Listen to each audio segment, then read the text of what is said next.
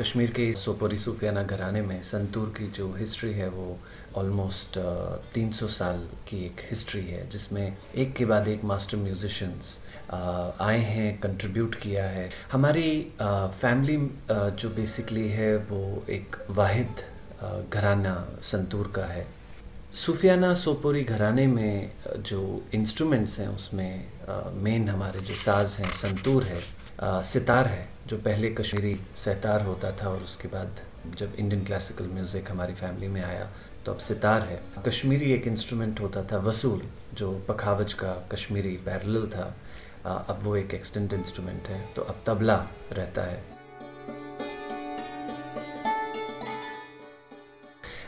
जब 47 का इंसिडेंट रहा कवाली रेड रहा तो उसके बाद सोपोर से शिफ्ट हुए, श्रीनगर सिटी आए। 1990 का टर्मोइल रहा, फिर से शिफ्ट हुए। यानी हर एरा में कोई ना कोई डिस्प्लेसमेंट रही है। लेकिन इसके बावजूद भी ये घराना एक पिलर की तरह स्ट्रॉन्ग रहा है। एक सोशल टेबल्स तो पूरे कंट्री में ही जुड़े हुए थे कि म्यूज़िक क्या सीखना है, अच्छी चीज़ नहीं है। लेकिन वहाँ पे रिलीजियस इश्यूज़ भी थे कि आप नहीं सीख सकते म्यूज़िक उसको चेंज करना लेडीज़ को म्यूज़िक सिखाना और वहाँ से लिसनर्स क्रिएट करना म्यूजिशंस क्रिएट करना। मेरे फादर ने फर्दर उसको लिया। सिर्फ़ गाया बजाया नहीं है, उसने कल्चर डेवलप किया है।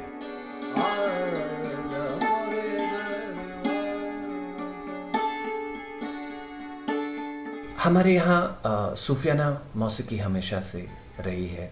बेसिकली ये जो पूरी परंपरा है, ये शैव्य परंपरा है और शेवाइट्स जो हम शवाइट फ़िलासफ़ी की भी बात करते हैं, क्योंकि हम कश्मीरी शवाइट्स हैं सभी।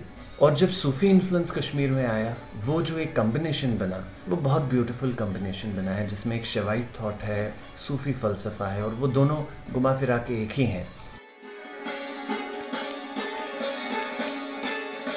तो कि संतूर एसेंशली एक स्ट्राइकिंग इंस्ट्रूमेंट है। लेकिन उसमें बोल क्रिएट पापा ने किए मींड क्रिएट किया गमक कैसे आएगा, ये क्रिएट किया जो हमारे अलग अलग बोलों के पैटर्न्स हैं उनको कैसे बैलेंस किया जाए ग्लाइड्स हैं अलग अलग चीज़ें हैं कृंतन का काम जमजमे का काम इस तरीके की जितनी भी चीज़ें हैं वो सारी पापा ने इंट्रोड्यूस की हैं जिसे हम सोपोरी बाज कहते हैं।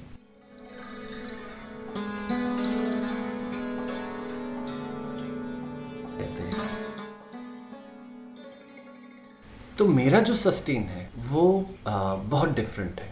और मैं सस्टेन को कंट्रोल कर सकता हूँ। तो मैंने उसमें कुछ ऐसी टेक्निकल चेंजेस किए हैं संतूर में, जो भी संतूर के जो ही लोअर ऑक्टेव में आते हैं तो एक साउंड का डिफरेंट डायमेंशन है। तो जो बीन अंग ऑलरेडी पापा ने एस्टेब्लिश किया था संतूर पे, मैंने उसको और फर्दर आगे लेने की कोशिश की है।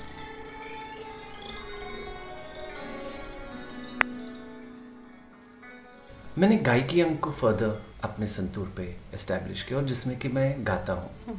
तो अगर मैं तराना आ रहा हूँ तो मैं तराना गा के आऊँगा। अगर मैं टप्पा आ रहा हूँ तो मैं टप्पा गा के आ जाऊँगा। छोट छोटा ख्याल आ रहा हूँ तो वो भी गा लूँगा। कोई भी बंदिश वगैरह मैं ले लेता हूँ। लेकिन ऐसा नहीं है कि एकदम नई चीज़ में कोई लेके आया हूँ क्योंकि हमारी सूफी परंपरा में गाना बजाना एक साथ ही होता है। तो मेरे दादाजी पंडित शंभुनाथ सोपोरी जी आज भी अगर मुझे कभी कुछ बताते हैं तो वो पहली चीज़ मुझसे कहते हैं कि पहले गाओ। पहले गले से उतारो, जब गले में आ गया, फिर सांस पे आएगा। ये जो सिस्टम है, जिसमें कि, जिसे हम गुरु शिष्य परंपरा कहते हैं, इसमें रिटर्न कुछ नहीं है। किताबें छपी हुई हैं, लेकिन किताबों को लेके आप सीख नहीं सकते। तो ये जो सिस्टम है इसमें सीना वसीना हम अपने गुरु के साथ बैठते हैं, अपने उस्ताद के साथ बैठते हैं और सीखते हैं, यही हमारे म्यूज़िक की खूबसूरती है। और मुझे लगता है हर एक, जो एक लेजेंडरी म्यूजिशियन इस कंट्री के रहे हैं, उनमें ये खूबी सबसे ज़्यादा आपको दिखाई देगी compare to any other music in international collaborations में जो मुझे लगता है हमारे अरब रीजन के एक म्यूज़िशन हैं उनके साथ मेरा कोलेब्रेशन हुआ था मिस्टर हज यूनिस। उसके बाद अमेरिकन ईरानियन डलसिमा बहुत सीनियर म्यूजिशियन हैं डॉक्टर शगाफ़ी उनके साथ हुआ है। तो इस तरीके के मैंने बहुत कोलेब्रेशंस किए हैं। लेकिन आ, कश्मीर में आ, जो मैंने आ, हमारे लेजेंडरी माइस्ट्रो हैं ज़ुबीन मेहता साहब उनके साथ जब कोलेबरेट किया, मुझे लगता है वो मेरी लाइफ का एक बहुत टर्निंग पॉइंट रहा है। पूरे माहौल में जो चीज़ निखर के आई वो ये थी कि Kashmir despite of all the issues जो वहाँ रहे हैं सोशल पॉलिटिकल लेकिन उनके बीच में कश्मीर का जो म्यूज़िक है, वो खड़ा है। कश्मीर का कल्चर ज़िंदा है और वो ग्रो बहुत अच्छे से कर सकता है। प्लेटफॉर्म की ज़रूरत है। ये बात सामने निकल के आई।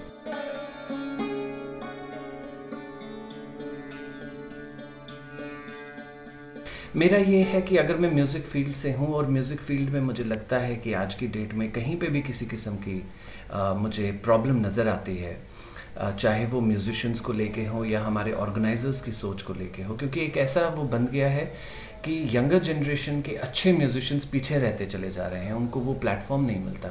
मेरी कोशिश ये है कि उनको हम आगे करें। तो जितनी भी हमारी एक्टिविटीज़ हैं चाहे वो फिर हमारे सामापा फेस्टिवल्स के थ्रू हों। मतलब जैसे हम जम्मू कश्मीर में जितने भी फेस्टिवल्स करते हैं, जो दिल्ली, बॉम्बे वगैरह में करते हैं, वो तो अलग है। लेकिन कश्मीर में जेल्स में बॉर्डर्स पे फार ऑफ़ एरियाज़ में, जहाँ पे कभी कोई कल्चरल एक्टिविटी हुई नहीं है, वहाँ पे हम म्यूजिशंस को लेके जाते हैं परफॉर्मेंसेस करते हैं। बच्चों को एक इंट्रैक्शन होती है। नंबर वन म्यूज़िक ज़िंदगी का हिस्सा होना चाहिए। ये पेशेंस डेवलप करता है। हम लोग आजकल पेशेंस लूज़ कर रहे हैं। और इसे हम अपनी डेली लाइफ में देख सकते हैं। हल्का सा कुछ हो जाए, कोई पीछे से चले, आप ट्रैफ़िक में चल रहे हैं, दस गाड़ियाँ पीछे कोई हॉर्न बजा रहा है। पेशेंस कहाँ से आएगी? कोई भी क्रिएटिव आर्ट लें पेंटिंग लें स्कल्पचर लें। म्यूज़िक सबसे ईजिएस्ट फॉर्म है, इसलिए म्यूज़िक की सब हमेशा पहले बात हो जाती है। लेकिन जो मर्ज़ी करें, कुछ करें। वो पेशेंस इंसान में डेवलप करती है। इंसान की पर्सनालिटी को रिफाइन करती है। इंसान को सोचने पे मजबूर करती है। द मोमेंट आप सोचना शुरू करते हैं, गलत और सही का रास्ता खुलता है। और ये हमें चाहिए।